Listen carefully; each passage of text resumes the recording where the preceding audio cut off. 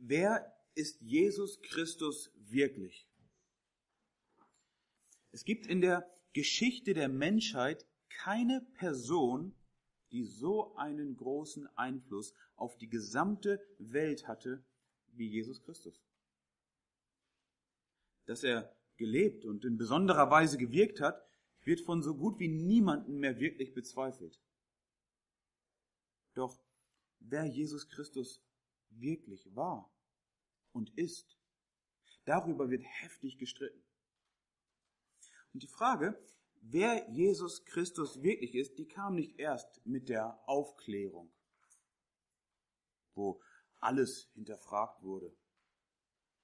Sie kam auch nicht erst mit, der, mit dem modernen wissenschaftlichen Denken der Neuzeit.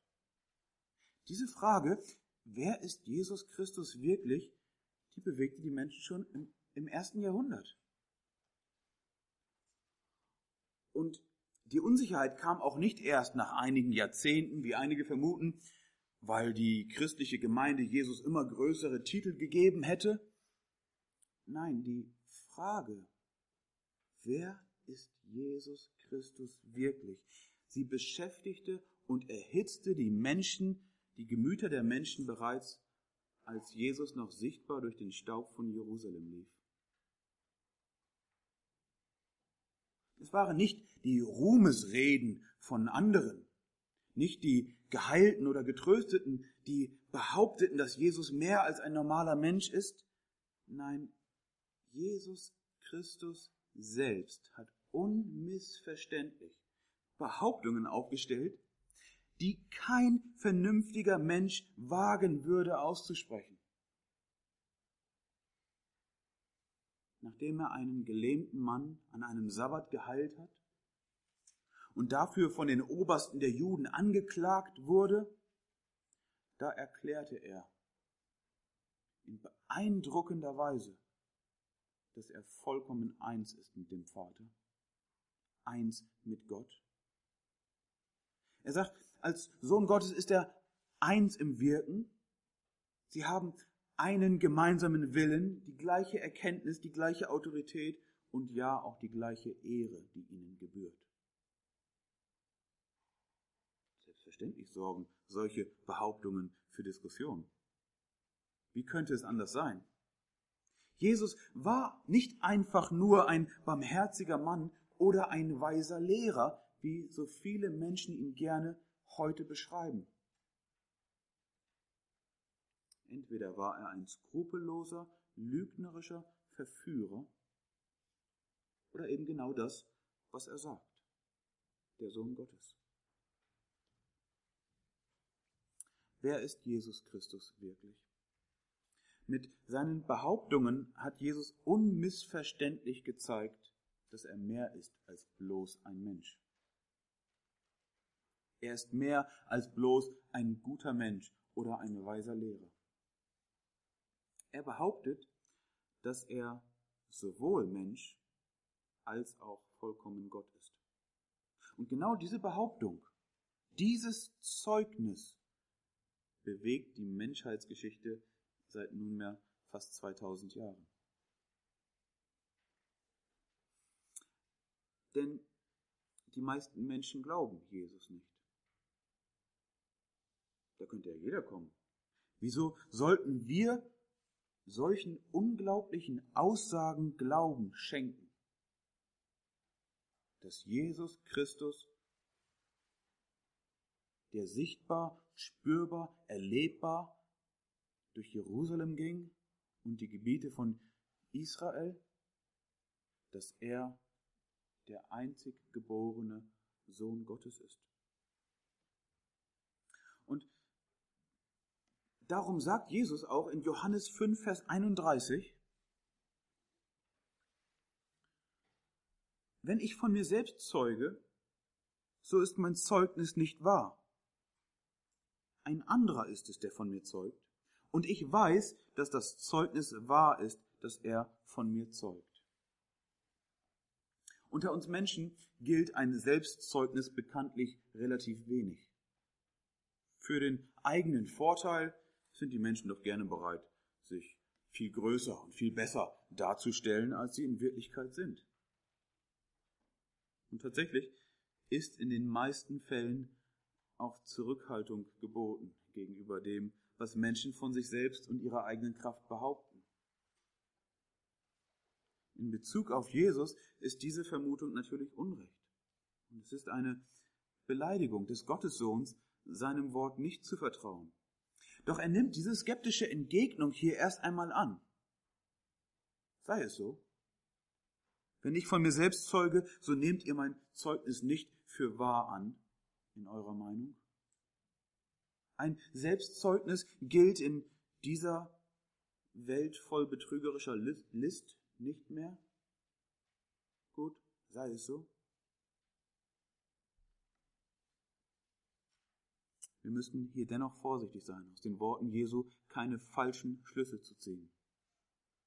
Jesus relativiert mit seinen Worten nicht seine Behauptungen und sein eigenes Zeugnis.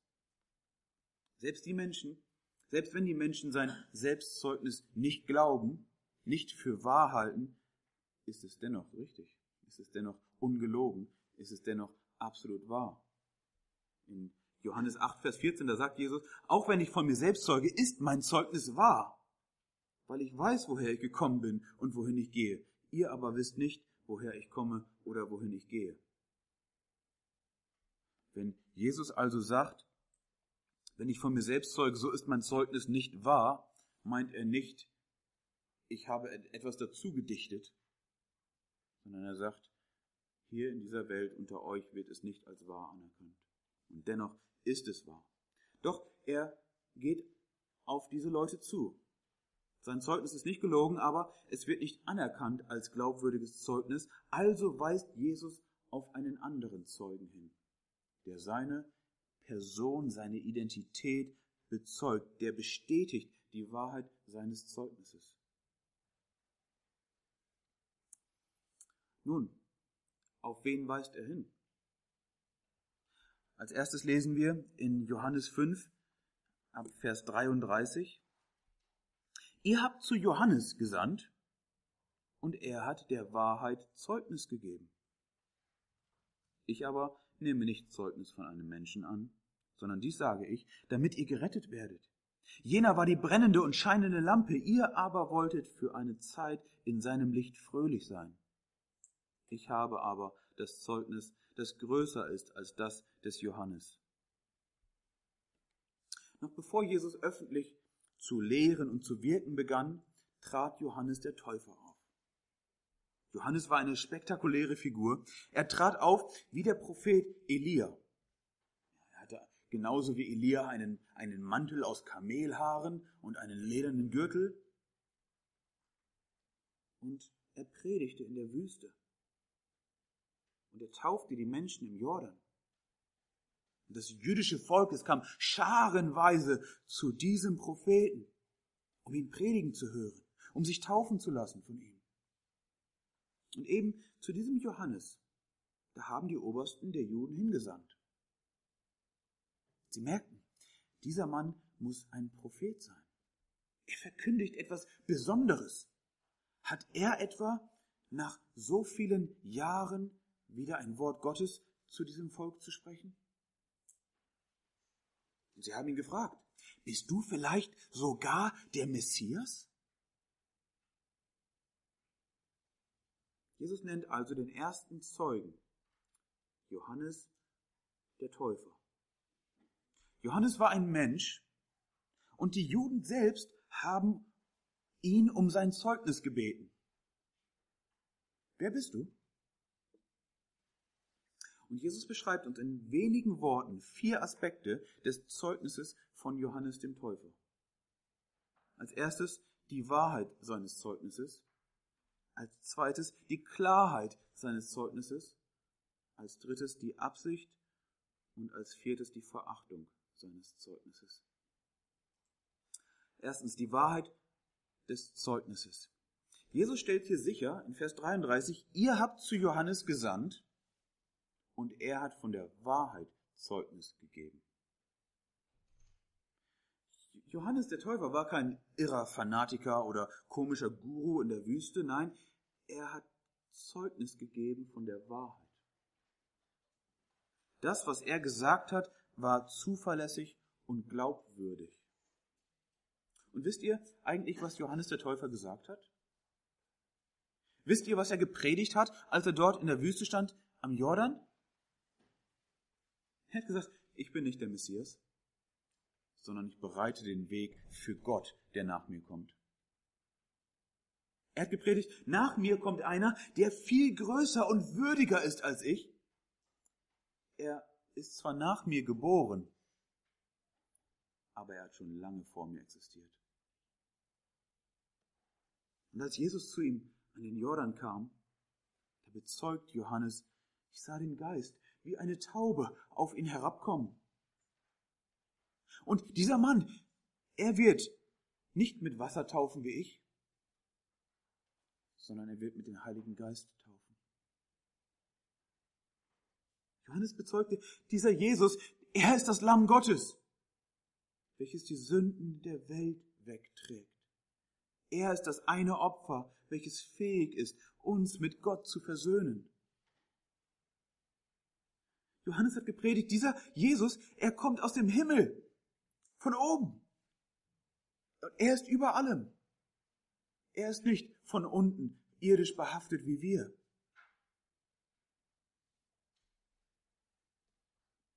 Und Johannes bezeugt, dieser Jesus, er spricht die Worte Gottes. Und er sagt, ich habe gesehen und ich bezeuge, dieser ist Gottes Sohn. Das ist das Zeugnis von Johannes dem Täufer. Und seine Behauptungen sind nicht übertrieben.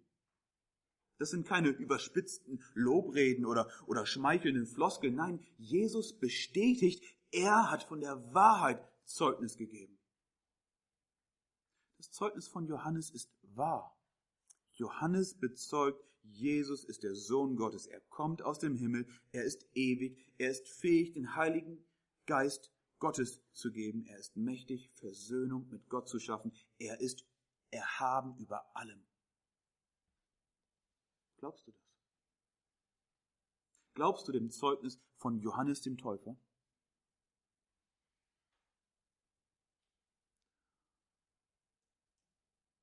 Und wenn ja, traust du dich, das gleiche Zeugnis von Jesus abzugeben?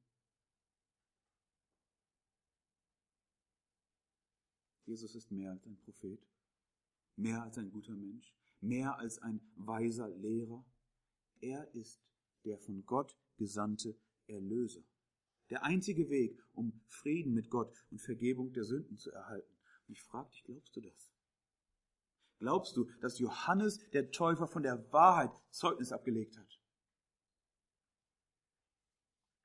Aber Jesus sagt nicht nur, dass dieses Zeugnis wahr ist, er sagt auch, dass es klar ist.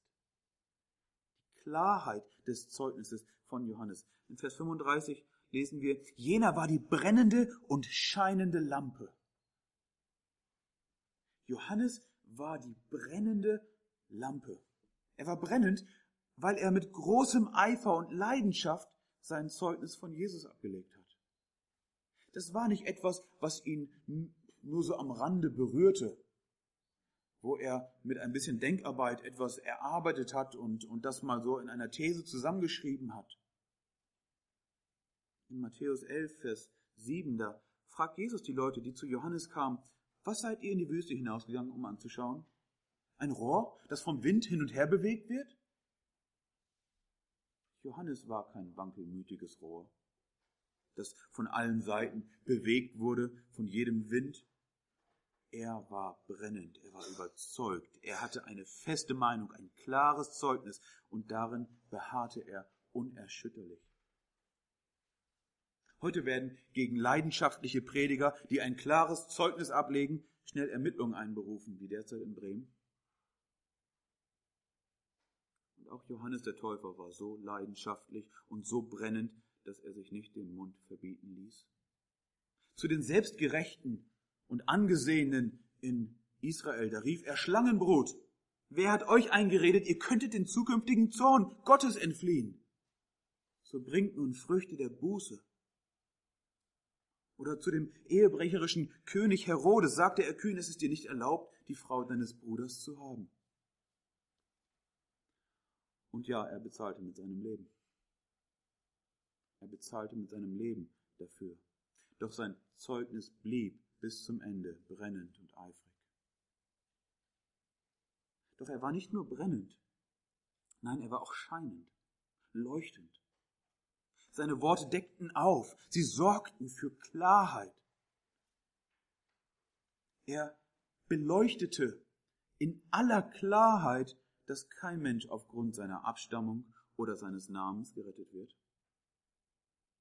Wir alle brauchen Reinigung und Vergebung unserer Sünden. Egal, wie viel Geld wir haben oder egal, aus welcher Familie wir stammen.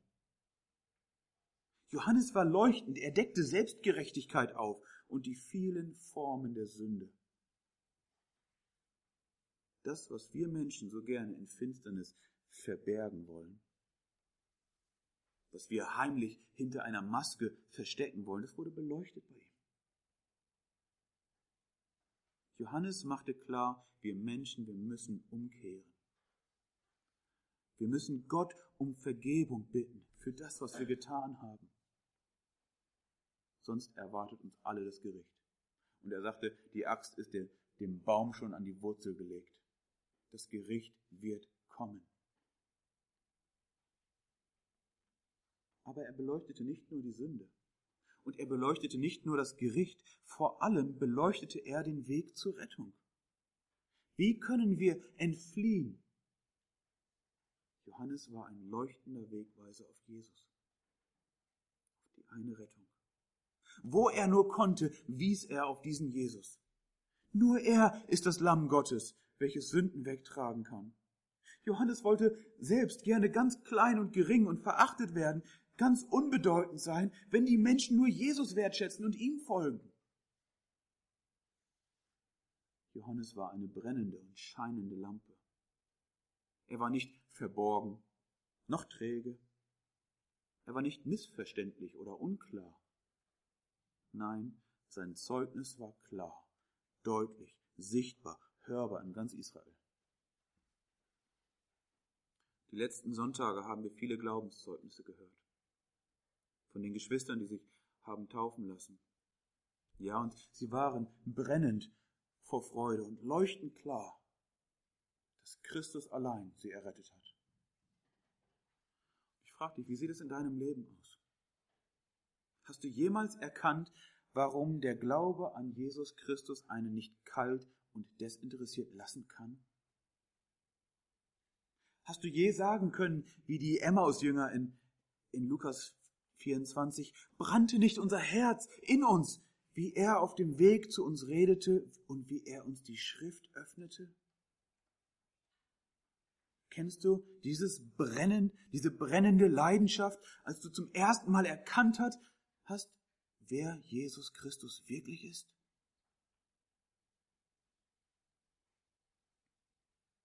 Wer wirklich an Jesus glaubt und ihm vertraut, darüber nachdenkt, wer er ist und wozu er gekommen ist, der kann nicht anders als brennend und scheinend von diesem Jesus Zeugnis geben.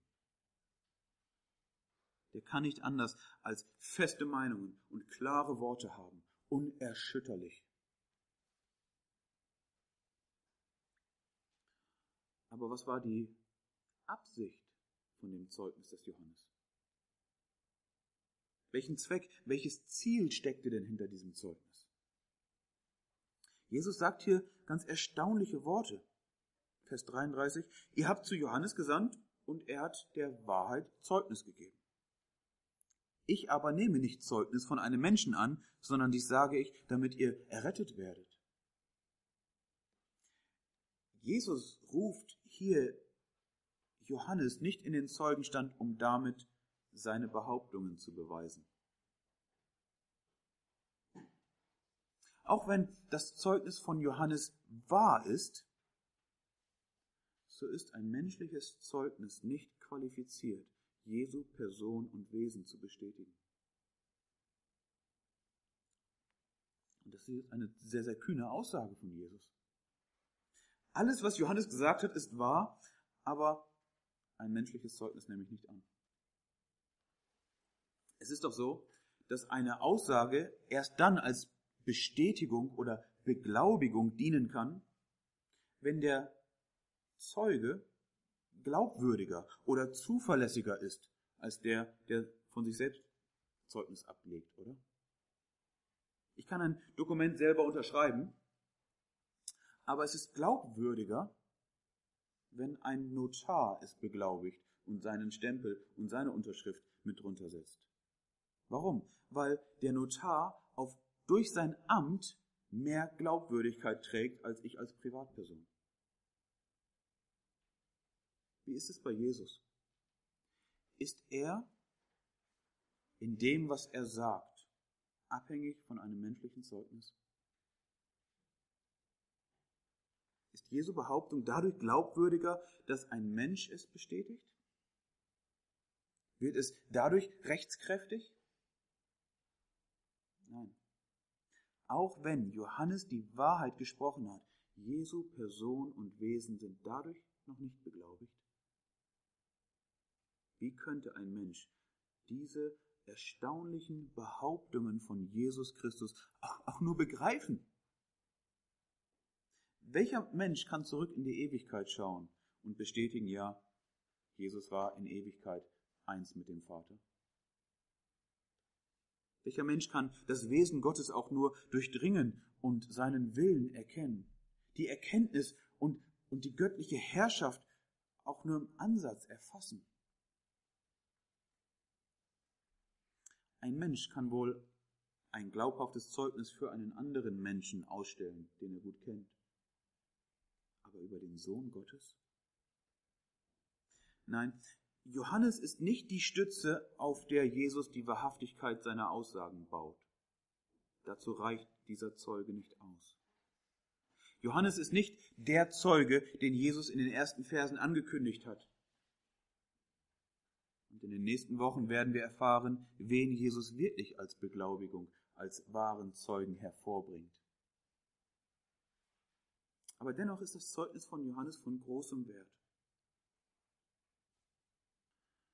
Nicht Jesus soll mit seinen Aussagen, mit den Aussagen von Johannes gerechtfertigt werden. Aber wir Menschen, die wir es hören, können durch das Zeugnis von Johannes gerettet werden. Ich aber nehme nicht Zeugnis von einem Menschen an, sondern dies sage ich, damit ihr gerettet werdet. Jesus braucht keine menschliche Hilfe, um seine Glaubwürdigkeit zu bestätigen, aber wir, die wir so schwach, so schwerfällig sind zu vertrauen, für uns ist das Zeugnis von Johannes festgehalten. Für uns Menschen hat Gott Johannes, den Propheten, vorausgeschickt, um uns anzukündigen den Weg, wie wir an Christus vertrauen sollen und so Frieden mit Gott empfangen. Wir sollen umkehren und auf Jesus das Lamm schauen, damit auch unsere Sünden weggetragen werden. Es geht hier um uns. Gott hat Johannes den Täufer beauftragt, die Wahrheit zu predigen und uns Menschen zu bezeugen zu unserer Hilfe. Aus Erbarmen, aus Barmherzigkeit. Nicht Jesus hat es nötig, gerechtfertigt zu werden. Wir haben es nötig, gerechtfertigt zu werden vor dem heiligen und lebendigen Gott. Dazu dient das Zeugnis des Johannes. Erkennst du diese Barmherzigkeit Gottes? Wir Menschen, wir, wir wollen uns so gerne erheben und selber ein Urteil darüber fällen, wer ist Jesus Christus wirklich, als wären wir auf dem Richterstuhl und Christus auf der Anklagebank. Doch Christus rückt es hier gerade, das Bild, und sagt, wir brauchen Rettung. Wir. Johannes der Täufer ist der, der hinweist als eine brennende und scheinende Lampe auf Christus, der Einzige, der fähig ist, uns mit Gott zu versöhnen. Und Gott schenkt auch dir heute das Mittel der Predigt, menschliche Worte, damit du vertraust, dass die Rettung in Jesus Christus real ist. Hier und heute geht es nicht um philosophische Spekulationen über Beweiskraft. Es geht um dein Leben. Es geht um deine Rettung. Es geht um deine Seele und um deine Sünde. Vertraust du Christus? Vertraust du, dass er das ist, was er sagt? Das ist deine einzige Rettung. Aber als letztes erfahren wir auch etwas von der Verachtung des Zeugnisses. Vers 35 und 36. Jener war die brennende und scheinende Lampe, ihr aber wolltet für eine Zeit in seinem Licht fröhlich sein. Ich aber habe das Zeugnis, das größer ist als das des Johannes. Zuletzt gibt uns Jesus hier eine klare Warnung. Die Obersten der Juden haben das Zeugnis von Johannes nicht angenommen. Johannes der Täufer war eine Attraktion zu seiner Zeit. Alles Volk ging zu ihm hinaus. Sogar Herodes hörte ihn gerne. Er hörte ihn gerne predigen, als Johannes bei ihm im Kerker saß. Obwohl Johannes so deutlich von der Sünde sprach. Seine, seine Worte berührten irgendwie sein Gewissen und er merkte, dieser Johannes in dem, was er sagt, er hat mehr Tiefe als die Schmeicheleien und das oberflächliche Gerede des Volkes. Aber selbst da, wo sie ein Interesse hatten, etwas von Johannes dem Täufer zu sehen, etwas von Johannes dem Täufer zu hören, das, was er sagte, wollten sie nicht annehmen. Sie wollten dem nicht folgen, auf den er wies. Und diese Warnung gilt auch uns. Es reicht nicht, das Zeugnis der Schrift zu hören. Es reicht nicht, die Worte von Johannes dem Täufer oder die Worte Jesu Christi selbst oder die seiner Apostel nur zu hören.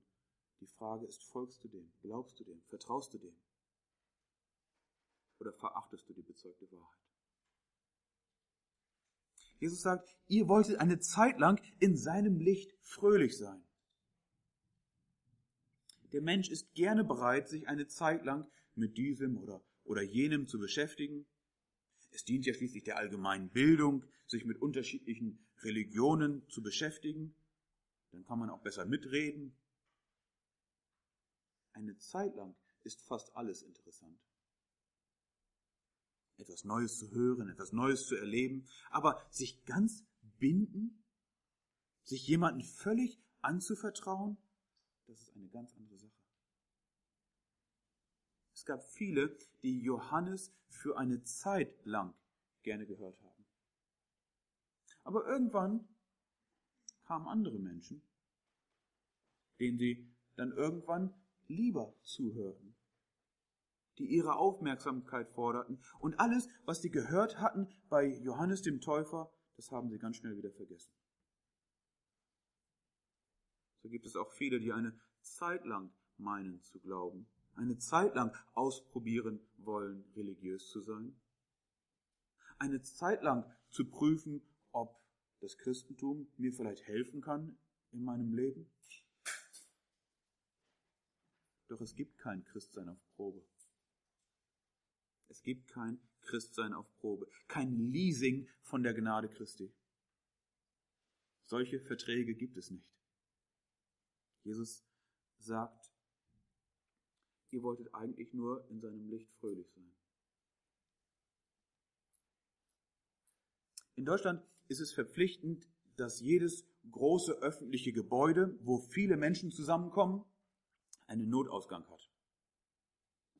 Und dieser Notausgang, der ist gekennzeichnet mit so einem grünen Kasten, einem grünen Licht, das leuchtet. Und auf diesem Kasten ist so ein Piktogramm von einem Mann, der, der läuft und es ist ein Pfeil abgebildet, in welche Richtung man fliehen muss bei einer, bei einer Not, bei einem Brand oder etwas. Und stellt euch jetzt mal vor, es wütet ein Feuer in einem Gebäude Und alle werden aufgefordert, unverzüglich das Haus zu verlassen. Und tatsächlich eilen alle Richtung Ausgang. Doch anstatt hinauszulaufen, bleiben die Menschen vor diesem grünen Kasten stehen, vor diesem Notausgangssignal und freuen sich an diesem schönen Strichmännchen, das da abgebildet ist und an diesem schönen grünen Licht, was leuchtet. Aber sie gehen nicht hinaus zur Tür. Sie bleiben im Gebäude. Das wäre nicht nur töricht, es wäre brandgefährlich. Gott hat Johannes den Täufer als eine Lampe hingestellt und er sollte einen Weg bahnen, einen Weg aufleuchten lassen, der zur Rettung führt. Doch die meisten fanden Johannes Auftreten einfach amüsant und unterhaltsam. Gehörst du zu denen, die sich gerne einmal Predigten anhören, gerne mal einen Gottesdienst besuchen, um unterhalten zu werden? Oder Kaffee und Kekse nach dem Gottesdienst zu genießen und sich mal mit ein paar Leuten auszutauschen? Um eine Zeit lang mal dazu zu gehören und mal zu testen, wie das ist? Mein lieber Freund, es ist brandgefährlich. Die Bibel gibt ein klares, deutliches, brennendes, scheinendes Zeugnis, dass allein in Christus Rettung ist. Ihm müssen wir vertrauen. Es reicht nicht, eine Zeit lang fröhlich zu sein in christlicher Gesellschaft. Und Johannes Zeugnis steht auch dir heute vor Augen. Siehe, das ist Gottes Lamm, welches der Sünde, der Welt Sünde hinvorträgt. Folge ihm, vertraue ihm, glaube an ihn. Jesus Christus, dem Sohn Gottes. Und du wirst leben. Gehörst du zu denen, die an Jesus Christus glauben und Vergebung der Sünden erfahren haben? Geh hin und leuchte. Geh hin und leuchte. Gib selbst Zeugnis. Sei selbst eine brennende und scheinende Lampe.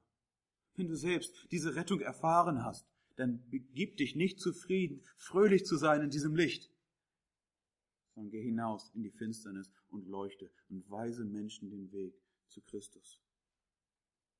Er ist die eine und einzige Tür, die zum ewigen Leben führt. Jesus Christus, Gottes Sohn. Amen.